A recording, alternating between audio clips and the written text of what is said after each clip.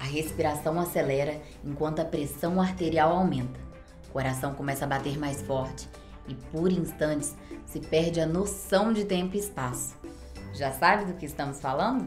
Pois é, um dos prazeres mais adorados pelo ser humano. Só podia ser o quê? O orgasmo, é claro. Mas será que o orgasmo pode matar? Eu sou a Débora Moreski e o Fatos Responde. Se liga aí!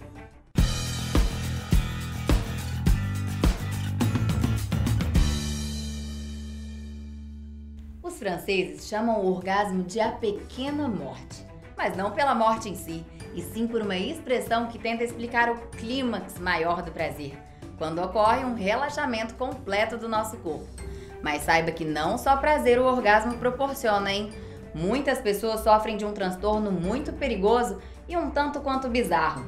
Se trata de uma doença em mulheres chamada transtorno de excitação genital persistente. É, não ouviu errado não, é isso mesmo. A mulher permanece em constante estado de excitação sexual, podendo ter orgasmos espontâneos e consecutivos.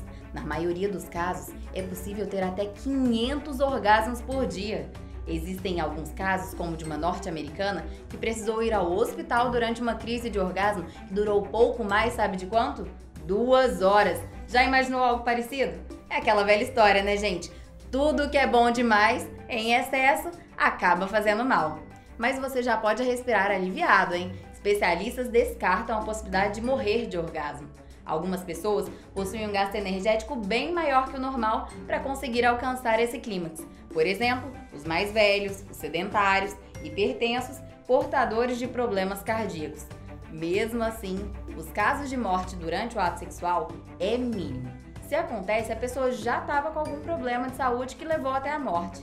Pode ficar tranquila então, que morrer durante o orgasmo é um mito que, olha, já foi desvendado. O orgasmo só te traz prazer e qualidade de vida. Gostou do nosso vídeo? Então deixa aqui embaixo o seu comentário e se inscreva no nosso canal. Até o próximo Fatos Responde. Tchau!